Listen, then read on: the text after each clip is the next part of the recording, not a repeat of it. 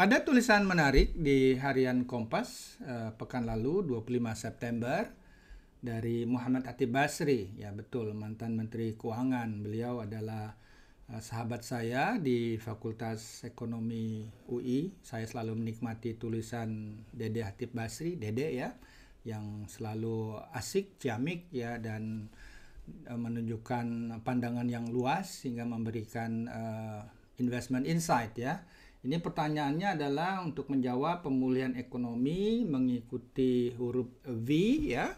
Silakan lihat di Kompas nanti huruf U atau W ya gitu. Jadi uh, dan ini banyak sekali yang dijelaskan di sini dan tentunya hal itu sangat uh, terkait seperti disampaikan oleh Dede bahwa pemulihan ekonomi tidak akan uh, boleh dibilang lebih uh, tidak akan lebih gegas ya bila uh, pandemi ini tidak bisa diatasi ya. Kelihatannya kita akan menutup kemungkinan huruf uh, V ya yang turun cepat kemudian naik cepat gitu. U juga dimeragukan ya. Sekarang malah orang bicara itu seperti huruf W karena kita memasuki boleh dibilang uh, putaran kedua ya dari uh, uh, pandemi ini second uh, cycle gitu. Dan uh, seperti juga disampaikan di sini ya bahwa uh, uh, Dede sangat fokus sekali dengan uh, pemerintah harus mempercepat yang namanya bantuan sosial ya. Karena di bantuan sosial inilah kita harus menjaga daya beli masyarakat ya sebelum uh, kejadian memburuk. Karena kalau daya beli masyarakat memburuk itu nanti ada putaran selanjutnya. Apakah termasuk juga uh, risiko kredit itu memburuk gitu.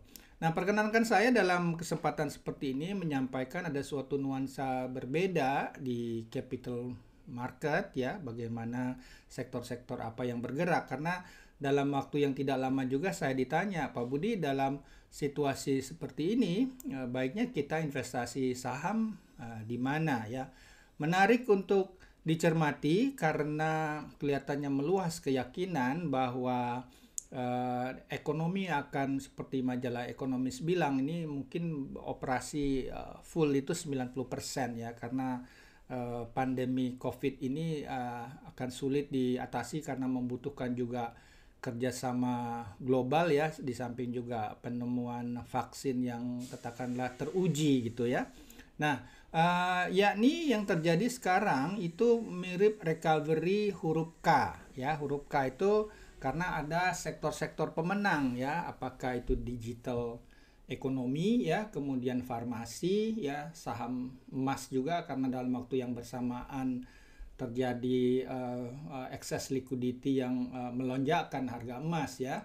Kemudian juga kita lihat ada sektor-sektor yang boleh dibilang kalah ya seperti uh, sektor uh, minyak misalnya ya karena ternyata dunia kelebihan minyak sementara permintaannya turun ya. Kemudian sektor penerbangan misalnya karena kegiatan pariwisata bakal turun mungkin belum bangkit dalam waktu dua tahun ke depan. Dan kita lihat juga saham sektor keuangan ya karena kemungkinan permintaan kredit uh, pembiayaan ya akan berkurang. Apakah demikian terjadi? Ya mari kita lihat nih buktinya di bursa Amerika ya ada namanya indeks SPX ya S&P 500 500 perusahaan ternama lah boleh dibilang ya. Kita bisa lihat pada peraga ini ya siapa yang menang? Oh berarti kelihatan sekali ya digital ekonomi itu ada Apple ya. Apple walaupun dia uh, jual gadget gitu ya ini juga menarik karena bisa mereka memanfaatkan teknologi uh, digital apakah buat uh, foto vlogging dan lain-lain. Terlihat juga Amazon ya Microsoft Nvidia. Ya saya tahu karena saya kenal mereka mengeluarkan grafik card terbaru ya karena dalam ya uh, upaya untuk belajar membuat konten ini uh, butuh uh, grafik card yang mumpuni gitu ya. Kemudian juga Facebook uh, PayPal ya kemudian Netflix ya Netflix. Nah, ini adalah perusahaan yang memanfaatkan orang stay home ya, lebih banyak movie yang bisa ditonton. Ternyata banyak sekali film-film dokumenter yang bisa dinikmati. Ayo kita lihat ke sebelah uh, kiri ya. Kalau tadi uh, uh, lead sekarang lag ya, laggard jadinya. Kita kelihatan tuh ya. Exxon Oil itu turun uh, drastis ya 47%. Oh ya by the way, di sana terlihat bahwa saham SPX itu sepanjang tahun berjalan naik 2,1% ya.